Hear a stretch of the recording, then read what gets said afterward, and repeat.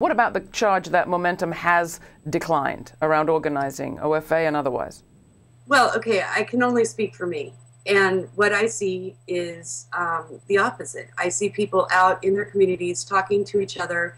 Here in Ventura, we have a local organizer who's been involved forever who shows up every week at the farmers market in Ventura and talks to people and tells them about healthcare reform while he's collecting cans for you know the local food bank that's where it starts. It in the community and it's not just on the internet and it is people talking to each other. And right.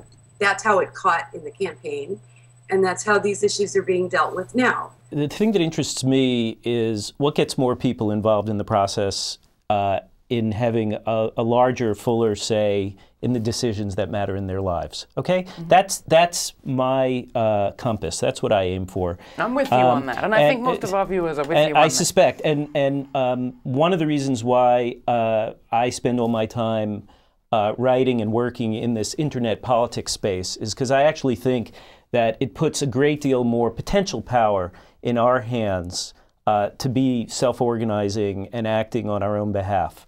Um, the Obama campaign, I think, lifted a lot of people, trained them, gave them uh, the opportunity, if you will, to start acting on their behalf as well. So part of my critique is not only at Obama for deflating hope and for uh, making choices that I think were too compromised, uh, given the potential that he displayed. It's also on uh, whether people connect with each other. And my, my one complaint about OFA 13 million people on an email list is the, the way the, the party hacks look at this thing. They think this is a gold mine.